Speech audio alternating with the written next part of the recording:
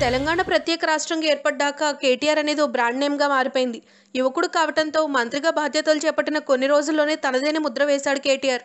Social మీడియాని సమర్థవంతంగా ఉపయోగించుకోవడంలో దిట్ట అయిన ఆయన ట్విట్టర్లో యాక్టివ్గా ఉంటూ ప్రజలకి మరింత దగ్గరయ్యాడు.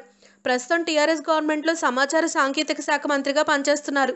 అధికారం చేపట్టక ముందు కేటీఆర్ కూడా తెలంగాణ ఉద్యమంలో పాల్గొన్నారు. అందరు తెలంగాణ యువకుల్లాగా తాను కూడా ప్రత్యేక రాష్ట్రం కోసం వీధుల్లోకి వచ్చి పోరాటం చేసిన చరిత్ర ఉంది. అయితే ఆయన తెలంగాణ ఉద్యమంలోకి ఆపై రాజకీయాల్లోకి రాకముందు సాఫ్ట్వేర్ నిపుణుడిగా పనిచేశారు. ఇప్పుడు దీనికి సంబంధించి ఆయనే అనేక ఆసక్తికర వివరాలు వెల్లడించారు. అవి తెలుసుకునే ముందు కేటీఆర్ నేపథ్యం చూస్తే కేసీఆర్ కుమారుడిగా అందరికీ తెలిసిన వ్యక్తే కేటీఆర్ పూర్తి పేరు కల్వకుంట్ల తారక రామారావు నందమూరి తారక రామారావుని విపరీతంగా అభిమానించే కేసీఆర్ ఆయన పేరు మీదే తన కొడుక్కి పేరు పెట్టుకున్నారు. హైదరాబాద్లో హై స్కూల్ విద్యని పూర్తి చేసి గుంటూరులోనే ఇంటర్ చదివాడు కేటీఆర్.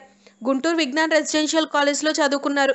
నిజాం కాలేజ్లో మైక్రోబయాలజీ పూణే యూనివర్సిటీలో బయోటెక్నాలజీ కోర్సులు చేసి యుఎస్ వెళ్ళి న్యూయార్క్ సిటీ యూనివర్సిటీ నుంచి management and e commerce main సబ్జెక్ట్గా MBA చదివాడు. పీజీ పూర్తయిన తర్వాత అమెరికాలోనే ఇంట్రా అనే సంస్థలో ప్రాజెక్ట్ మేనేజర్గా పనిచేశాడు కేటీఆర్. రెండు వేల నాలుగులోనే జాబ్లో చేరిన ఆయన కొద్ది కాలంలోనే ప్రమోషన్ తెచ్చుకున్నారు. ఇంట్రా సంస్థ తన కార్యకలాపాలను ఇతర దేశాలకు విస్తరించే క్రమంలో కేటీఆర్ని సౌత్ ఏషియా హెడ్గా హైదరాబాద్కి పంపించారు. ఆ రోజుల్లోనే కేటీఆర్ నెల జీతం ఎంత తెలిస్తే మతిపోతుంది. నెలకు అక్షరాల ఐదు లక్షల జీతం అందుకునేవారు. హైదరాబాద్ ముంబై వంటి నగరాల్లో తన సంస్థ కార్యక్రమాలు పర్యవేక్షించేవాడు కేటీఆర్. అయితే తెలంగాణ ఉద్యమం ఉవ్వెత్తున ఎగిసిపడుతున్న రోజుల్లో తన తండ్రి కేసీఆర్ గెలుపు కోసం చేస్తున్న ఉద్యోగం కూడా వదిలిపెట్టి వచ్చేశాడు. ఆ ఎన్నికల్లో కేసీఆర్ గెలిస్తే తెలంగాణ ఉద్యమం సజీవంగా ఉంటుంది. అందుకే కేటీఆర్ కూడా లక్షల్లో జీతం వదులుకుని తండ్రి వెంట ఉద్యమాల బాట పట్టారు. ఇక ఆ తర్వాత జరిగింది అందరికీ తెలిసిందే.